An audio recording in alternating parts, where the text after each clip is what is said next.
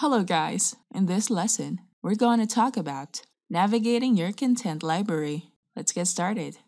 There have been added features and updates on Facebook Creator Studio. They've added different menus and also the theme of Creator Studio. You may also notice Creator Studio is different from how it looks before. You may notice that there's a separate menu and page where you can check out all the posts that are published and also the posts that are saved as drafts or scheduled to be published at a later time and date. Compared to the old version of Facebook Creator Studio, you may notice the added submenus under the content library. Under post testing, you can view the results of the content that you are comparing. Post testing can help increase distribution. In this section, you can view a list of Facebook pages that can help you start creating a test for each page that you manage. Your post test will show you which is the top performer of the content that you're comparing. This feature allows you to test variables for comparing posts.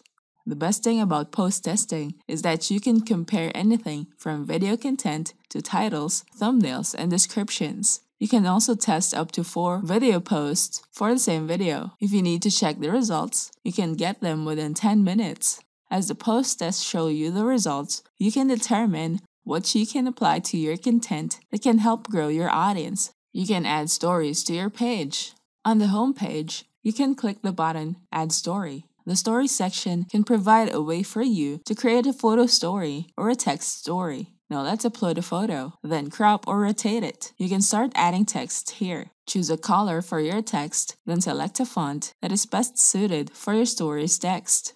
You can click the button here. The button in your story will be shown below. You can choose a button label from these options. If you choose these options as your button's label, it will allow you to redirect people to a website, while these labels will not require you to paste a link.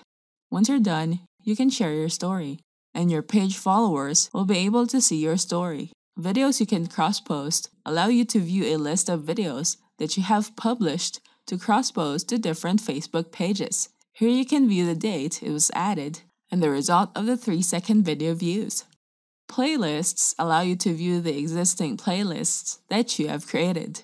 You can view the date added and the number of videos in your playlists. You can also add a new playlist here. Just select a page to add a playlist, write a title and description, then add a cover image. If you don't upload a cover image, a cover photo will be chosen for you.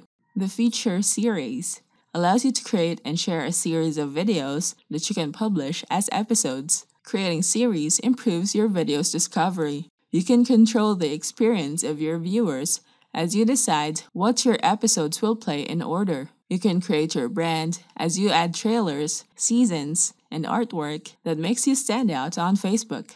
We have a marketing app that allows you to track ads from your competitors. Adplify gives you seven popular SaaS tools for total Facebook ads domination. With Page Ad Watcher, you can track ads from your competitors. With Hidden Insights and Audiences Finder, you can find high profit audiences that Facebook Ad Manager hides from you. Boost your conversions with behavioral retargeting. With Adplify's Page Targeter, you can target the audiences and the strategies of top businesses in your niche. With Email List Audience, you can turn every lead into a buyer with Instant List to Facebook retargeting. With Ad Decorator, you can make people stop scrolling every time they see your ad. With ROI Calculator, scale your ad's profitability without paying first. Try Adplify now and go to getadplify.in.